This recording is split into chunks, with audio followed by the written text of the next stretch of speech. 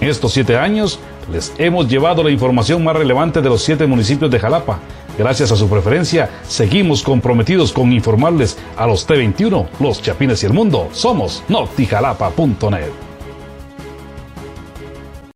Cuando vea humo, asegúrese de que se trate de un incendio antes de llamar a los bomberos, ya que han recibido muchas llamadas y cuando llegan están quemando basura. Así lo dio a conocer el oficial de bomberos voluntarios, José Telles. Sí, de hecho ya en los últimos días hemos atendido cuatro incendios estructurales. Eh, entra en cuenta el que se atendió ayer en horas de la noche.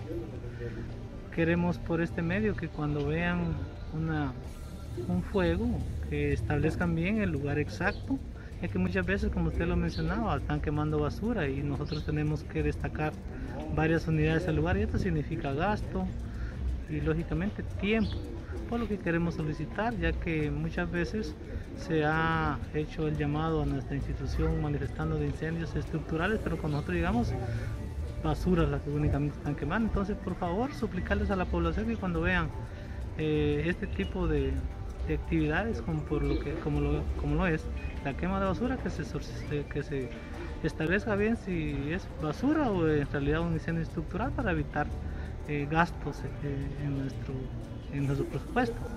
Entonces, igual muchas veces también lo que pasa es que no tienen una buena visibilidad.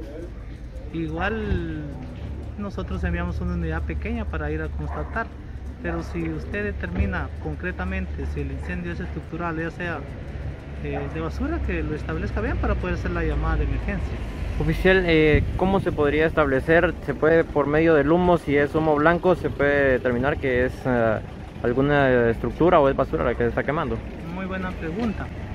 Fíjese que los, juegos en donde hay monóxido de carbono que, por ejemplo, están quemando llantas, algún ah, electrodoméstico, el humo va a ser un color negro.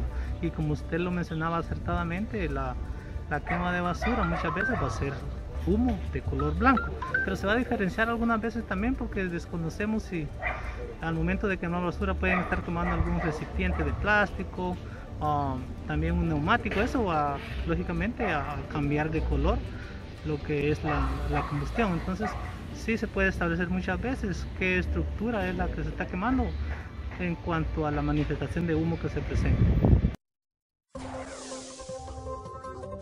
Para los T21, los Chapines y el mundo, notijalapa.net.